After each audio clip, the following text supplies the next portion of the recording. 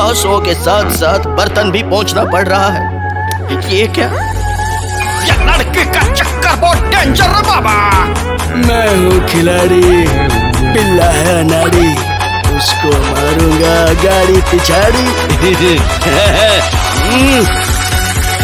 हम्म। अरे बाप